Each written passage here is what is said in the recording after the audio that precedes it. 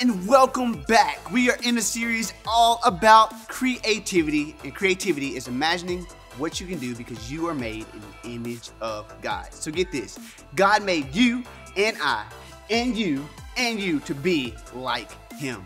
And one of the things that we get to do is show His love to others. There's so many different ways that we can do that. Now, I have a game, have a quick challenge for two of our lab assistants. Let me go ahead and call them to the floor.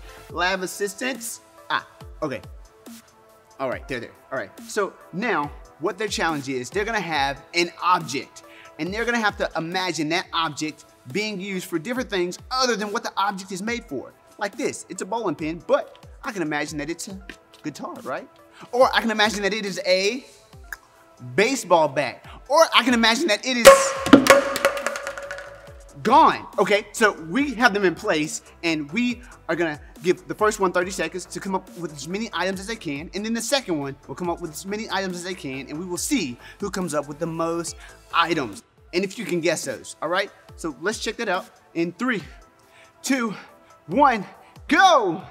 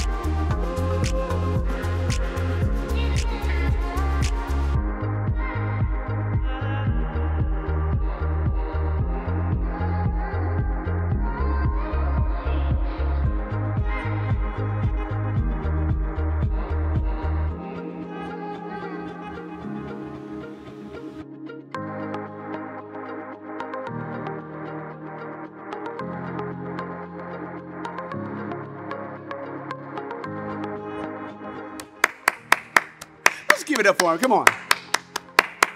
All right. Who knew they could be so creative with all those ideas? But I would be willing to bet that you guys sitting right where you are probably had a lot more ideas than they did. It's so cool to be creative. And you know what? Let's give them one more hand. Okay, that's enough. Oh, it's almost time for the Bible story. So let's jump into some praise and worship, and I'll see you guys in a second. It's about to get creative.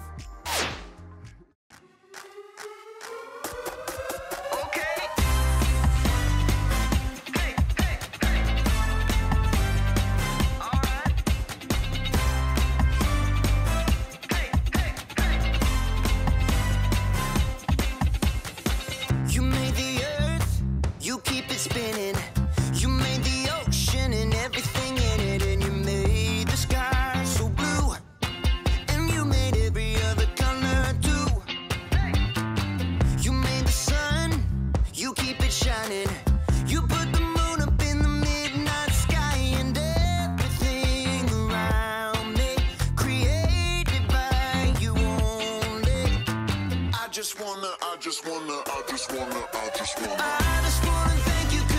Everything you made is so beautiful. Every single stone and every beat in my heart, and it's beautiful. You made my feet, you made my hands, you make me sing and you make me dance. Your love is all around me, and your love is so astounding. I just wanna. I just wanna thank you 'cause everything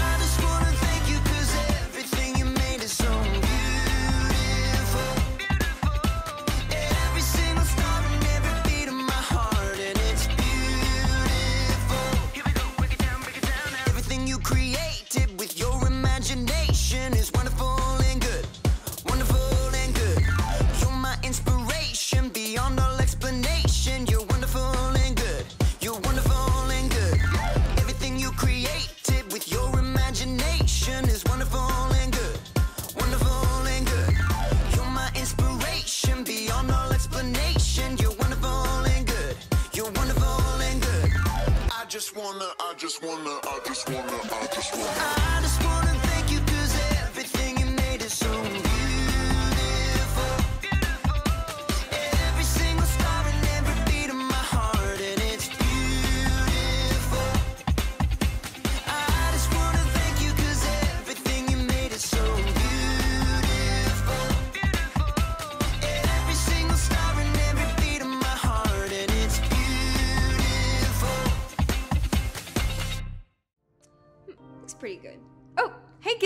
I, didn't see you guys there. I was just busy being creative. But anyway, let's check out today's memory verse found in Psalms 145, verse 3. And it says, Lord, you are great. You are worthy of praise. No one can completely understand how great you are. Now, let's stand to our feet and let's say it all together. So grab your mom, your dad, your sister, or your brother, and let's say it together. Lord, you are great. You are worthy of praise. No one can completely understand how great you are. Awesome job, Kids Life. And welcome back. So today we have an amazing story about a woman named. Miss Paula! I'm gonna show you so many creative ways. No, no, no, no, no, no, no, no, no, no. It's about a woman named Esther. Can we get lab security? Oh, okay, all right. So this story is about how God used creativity in an unexpected way. So just, just check it out. I gotta, Miss Paula, what in the world was that? The Bible. It's 66 books of history, stories, letters, and poetry that fit together to form God's one big story. The epic adventure of how He created us and loves us so much that He made a way to rescue us. As we travel through the Bible, from Genesis to Revelation, we discover people who met God and found their lives changed forever. Now, for an amazing story inspired by the Book of Esther. Esther was the queen of Persia. Wait, what? Queen? Esther didn't become queen in the usual way. See, her father wasn't a king, and she wasn't from a noble family. It's just me and cousin Mordecai. In fact, Esther was Jewish. Many of God's people had been captured and brought to Babylon when their home, Judah, was conquered. Then Babylon was taken over by Persia. So Esther grew up in a land that wasn't her own. When Esther's parents died, her cousin Mordecai raised her as his very own daughter. Always remember what our scriptures say. Love the Lord your God with all your heart and with all your soul. Love him with all your strength. One day, a new king named Xerxes came to power in Persia. He was so impulsive that he actually fired his queen Vashti simply for refusing to show up at a wild party. She will never see me again. When Xerxes had finally calmed down, he had realized he now had no queen. I have no queen. He would have to find a new one. I must find a new one. So the king decided to hold a contest. He ordered his officials to gather the most beautiful young women in the land and put them through an entire year of beauty treatments. Esther was one of those girls chosen. Cousin Mordecai, what do I do? Don't tell anyone you're from a Jewish family. I have chosen my new queen. Drum roll. My new queen is Esther. Mm-hmm. Me? Assume the queenly royal crown. I might have to resize it. Just as Xerxes had so impulsively switched queens, he also promoted a royal official named Haman higher than all of the other nobles in the kingdom. Bow to me, you fools! Haman was delighted when all of the officials outside the palace bowed low before him. When he discovered that Mordecai refused to bow, he was enraged. You have to bow. Somebody make him bow. Haman was so angry. He made a plan to destroy not only Mordecai, but all the Jews in the land. He laid it out for the king. Your Majesty, these Jews live differently than everyone else. They don't obey your laws. Fiddlesticks. That's just wrong. Precisely. Give the order to destroy them. Consider it done. Xerxes agreed to the terrible decree. Messengers took the letter all over the kingdom. Hear ye, hear ye. On the thirteenth day of the twelfth month, all Jews are to be killed. Hear ye, hear ye. When Mordecai and the other Jews discovered the horrible news, they dressed in rough clothing and wept bitterly. Mordecai sent a message to Esther in the palace, telling her what Haman had done. You must ask the king to save our people. Esther was devastated. She sent a response to her cousin. No one can come before the king unless he sends for them. If I do it, I'll die. Unless he reaches out his gold scepter to me. Mordecai sent his answer right back. You may not escape, even though you're queen. Who knows? It's possible that you became queen for just a time like this. He's right. Here, tell this to Mordecai. Gather all the Jews. Don't eat anything for three days. I and my servants will fast too. Then I'll go to the king. Esther faced an impossible dilemma, but she took three days to prepare her heart and her mind. Bring my most beautiful royal robes. Heart racing, Esther entered the throne room. Across the long hall, she saw the king seated high on the throne. Breathless, she waited for him to see her. Please, please, please. The king looked up, his dark eyes locked on Esther's face. And then he smiled. He reached out his golden scepter. Thank God. What is it, Queen Esther? I'll give you anything, up to half my kingdom. Esther could have made her request right away, but she knew she would have a better chance if she made the king curious. King Xerxes, if it pleases you, come to a feast I prepared today. Oh, and bring Haman. Consider it done. Esther created an elaborate feast for the king and his number two official. Look at me, you peasants, invited to the queen's banquet. At the meal, King Xerxes once again tried to discover what Esther wanted. I'll give you anything, up to half my kingdom. Once again, Esther held her ground and waited for the perfect moment. I'd like you and Haman to come to another feast tomorrow. Then I'll answer your question. The king agreed, and Haman spent the whole evening bragging to all of his friends. You guys, the queen thinks I am the bomb. But the second feast was a different story. As before, Esther prepared an incredible meal. Both Haman and the king were quick to dig in. What do you want me to do for you? I'll give you up to half my kingdom. Esther took a deep breath. Something told her this was the right moment. Your Majesty, let me live. Please spare my people. We have been sold to be destroyed. Haman paled and choked on his fillet, but the king's face flushed red with rage. Who is the man who has dared to do such a thing? Esther turned her gaze on Haman. Haman is the one. In a panic, Haman threw himself at the queen.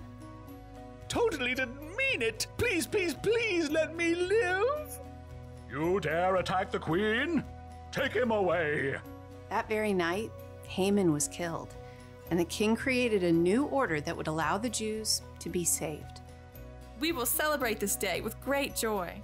God had given Esther a surprising position in a foreign nation, and when the time was right, she would use all she had been given to save her people. So that was really cool. God had a plan for Esther the whole time. He used her in a way that, even though it was so far from home, he used her to save the people. At the right time, she used her creativity to convince the king to help her people. God had a special purpose for Esther. And the awesome thing, uh, that the awesome feeling that I get when I hear that story, when I see that story, is that she's not the only one that God has a purpose for. God has a purpose for you. Maybe you've never heard that before, and I'm so happy to maybe be the first person to tell you that. Maybe your mom and dad's already told you that, but it's so true. God has a purpose for you. Now, you may not know what that is, but I'll tell you how you can find out in a second. God had a purpose for Jesus, his one and only Son. He sent Jesus here to save you and to save me, so that we can know a life not apart from God, but close to God so that we can know a life that was all about being a part of God's family. And, and so maybe you're here today and, and you've never made a decision to be a part of God's family. Maybe you never even knew what Jesus did for you. Well, today I want to pray with you. I'm going to say a prayer and I want you to repeat after me. And in that prayer, we are making a decision to be a part of God's family, to follow Jesus. Because in this prayer, we're simply saying that Jesus, we believe that you came to this earth, that you died on the cross, and that you rose again so that we could be a part of God's family. And God's word says that all we have to do is to believe it in our heart and then say it with our mouth. And we're going to do both of those things with this prayer. So, would you mind repeating after me? God, thank you for your love. I believe that you sent Jesus to die on the cross for me. I believe that he rose again so that I could be a part of your family. Thank you for forgiving me and thank you for loving me. I choose to follow Jesus. In Jesus' name, amen. Get this, if this was your first time praying that prayer, I am so proud of you. You are now a part of God's family. And it's so cool because we have uh, things, resources that we want to give you to help you in the decision you just made. All you got to do is stay connected to the Life Kids because each and every week we're posting cool tips and tools on how to follow Jesus every Wednesday. Now get this, maybe you, you already made a decision to follow Jesus and you're wondering, what is your purpose? Well, a cool way to figure out what your purpose is is to look at the gifts that you have. Maybe you have the gift of making friends. Well, you go to school or you start a new team and you show up and you see that there's someone sitting by themselves. Your purpose in that moment is to go over and be a friend. Your gifts help you with your purpose. I want to say that again. Your gifts help you with your purpose. And everyone has a purpose. You know why? Because God created you with a purpose. So let's take a few minutes and talk more about your purpose and think of ways that we can use our gifts to walk out our purpose, like Esther in our Imagineer groups. I've had such an awesome time with you guys today. I'll see you next time.